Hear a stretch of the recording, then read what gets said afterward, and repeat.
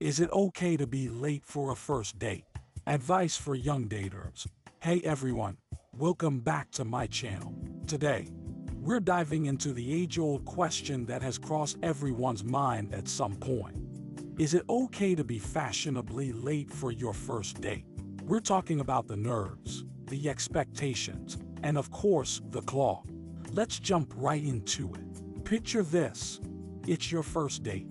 Your heart's pounding, and you're running a little behind schedule. Is it the end of a world?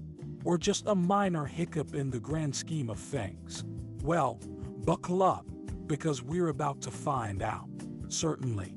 Let's dive deeper into each segment. Number 1. The anatomy of first date jitters asterisk asterisk. First date jitters are a universal experience, and it's crucial to acknowledge them. The combination of excitement and anxiety can sometimes be overwhelming. The idea here is to convey that feeling nervous before a date is completely normal and relatable. By addressing these jitters, the script aims to create a sense of understanding among the audience. According to an expert interview, psychologist or relationship coach, the expert provides a professional perspective emphasizing that these nerves are natural. Additionally, the expert suggests that arriving a bit late might serve as a strategy for some individuals to compose themselves before the date, turning the nervous energy into a more collected mindset. Number 2. The importance of timing asterisk asterisk. Timing is a critical aspect of the dating scene.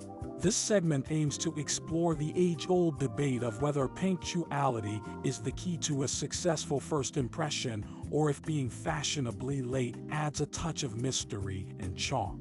The goal is to present different viewpoints on this matter. I was asking some friends about their views on punctuality, person A. I think being on time shows respect for the other person, person B. A little lateness can be forgiven, but not too much. It's about finding a balance. Person C. Honestly, I appreciate it when someone is fashionably late. It makes things more interesting. Number 3. The culture of punctuality asterisk asterisk. This segment broadens the discussion by bringing cultural influences into play. Different cultures have different perceptions of time and this can significantly impact expectations on a first date. The script aims to highlight the importance of understanding and respecting cultural diversity in the dating world. According to an expert interview, cultural anthropologist or sociologist, an expert in cultural studies provides insights into how cultural norms shape our views on time. By acknowledging and respecting these differences, the script encourages the audience to consider the cultural context when it comes to punctuality in the dating scene. Number 4. Mailing the first impression asterisk asterisk. Building on the previous segments, this part emphasizes that the first impression is not solely determined by punctuality. The script seeks to explore the multifaceted nature of first impressions and how various factors contribute to creating a positive experience. According to a dating expert or blogger, a guest with expertise in the dating scene adds valuable insights, stressing that while punctuality matters, it's not the sole factor in making a memorable first impression. The script encourages the audience to focus on overall demeanor, body language, and genuine engagement to leave a positive impact. Number 5. Recovery Mode. If you're running late asterisk asterisk, this practical segment provides tips and tricks for those moments when unforeseen circumstances lead to tardiness. The goal is to offer actionable advice on how to recover gracefully from being late, ensuring that the date can still start on a positive note tips and tricks, on-screen graphics with helpful advice. The video outlines practical steps individuals can take if they find themselves running late. From effective communication to sincere apologies. The emphasis is on salvaging the situation and making the most of the time spent together. These tips aim to provide a proactive approach to handling unexpected delays. Some other tips and tricks 1. Communicate. Shoot a quick text or call to let your date know you're running a bit behind. 2. Apologize sincerely.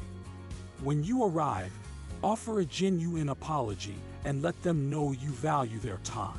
3. Dive in. Once you're there, focus on making the most of the time you have. A positive attitude goes a long way. As we wrap up our journey into the world of first date timing, it's evident that the question of whether it's okay to be fashionably late isn't a one-size-fits-all scenario. We've explored the nerves that precede a first date, the significance of timing, cultural influences, and the intricacies of making a lasting first impression. The key takeaway here is that dating is a nuanced dance, and there's no universal rule carved in stone. It's about finding a balance that works for you and your date. Remember, it's not just about the clock ticking away, but the moments you create together. So, whether you're an early bird, a fashionably late enthusiast, or simply someone trying to navigate the unpredictable path of love, the most important thing is to be authentic.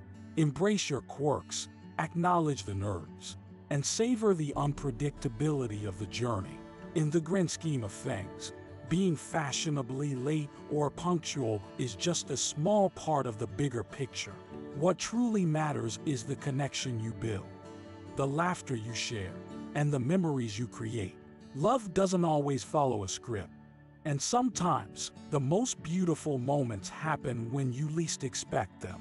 Don't forget to hit that like button, subscribe for more content, and share your thoughts in the comments below.